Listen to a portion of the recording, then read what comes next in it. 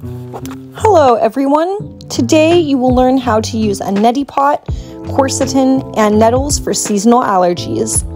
First up is the neti pot. This is a small teapot used to clear out your nose and sinuses. It is great to loosen up any dirt or pollen that may be lingering in your nose.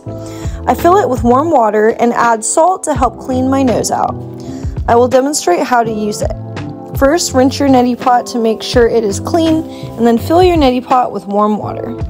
I boil the water first and then let it cool down.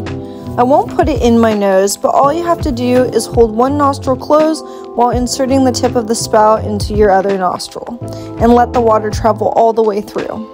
At this point, I release my finger on the closed nostril to let the water flow through.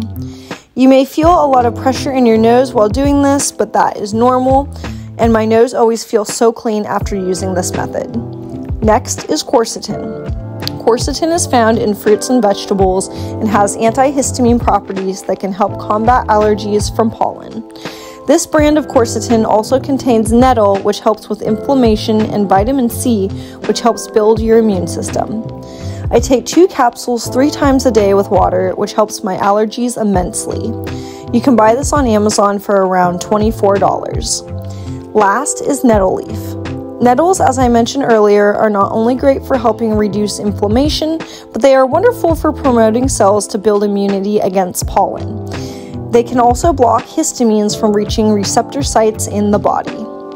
First, I boil some water and then I add a teaspoon of dried nettle leaf to the water. I make sure to strain it into a mug once it cools. I drink two to three cups of this while I experience allergies, and it helps a lot. Thanks for watching, and see you next time.